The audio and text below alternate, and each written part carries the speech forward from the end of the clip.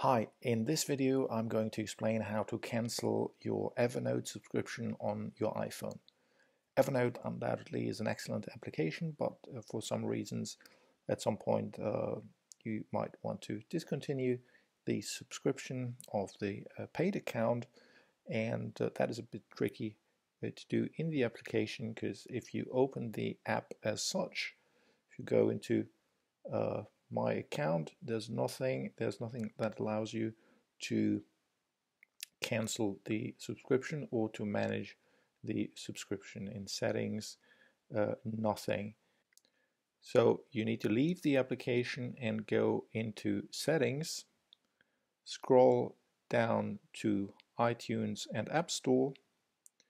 Here you uh, can go into your Apple ID you say view Apple ID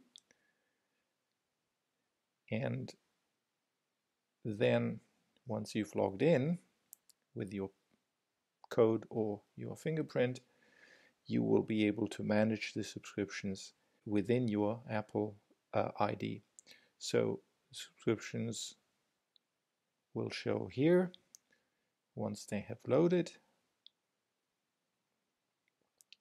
You can see what you have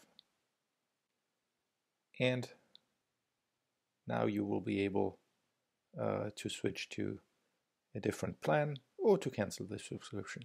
You'll also find useful links below in the annotations.